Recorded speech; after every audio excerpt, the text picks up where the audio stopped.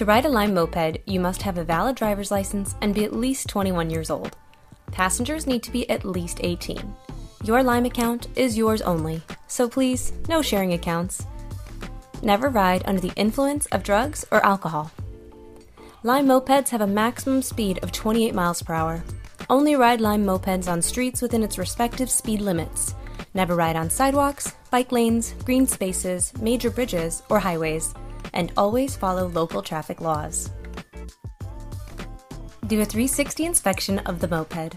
Check the lights, mirrors, throttle, and brakes. Protect your toes, legs, fingers, and arms. Keep them covered. To access our helmets, tap Start Ride in the Lime app and press the red button on the helmet case. Fasten your helmet, and you're good to go. Always wear a DOT compliant helmet. Place any of your belongings in the